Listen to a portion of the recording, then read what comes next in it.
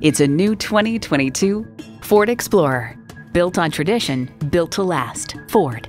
Features include automatic transmission, dual zone climate control, streaming audio, rear parking sensors, voice activated climate controls, Wi Fi hotspot, AM FM satellite radio, active grille shutters, doors and push button start proximity key, and intercooled turbo inline four cylinder engine.